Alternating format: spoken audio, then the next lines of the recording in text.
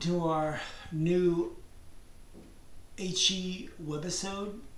Uh, this is about encephalopathic problems. Uh, my name is Tim. Uh, we will be showing you footage from the reality of the situation. I have had numerous, I mean, five to six episodes of ER.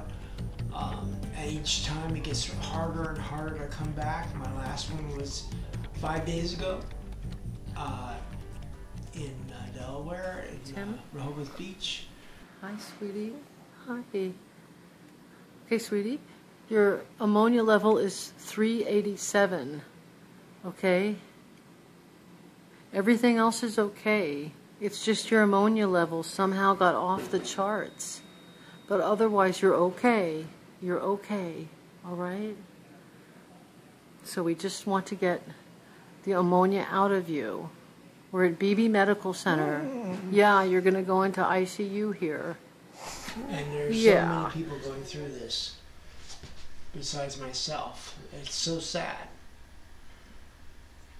that uh, this is not considered part of the uh, the influence on the MELD score. I mean, this this is uh, insane that that uh, your brain being destroyed by encephalopathy isn't considered a valid uh, criteria for helping the MELD score. It doesn't make any sense to me.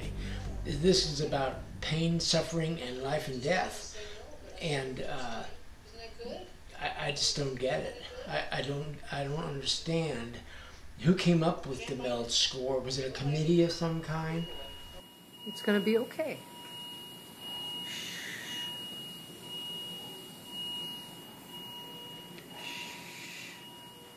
Tim.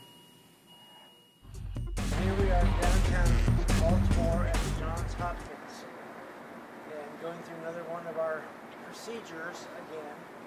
Um, it looks like I'll be, it's not all about me, but it looks like I'll be stuck doing a penile,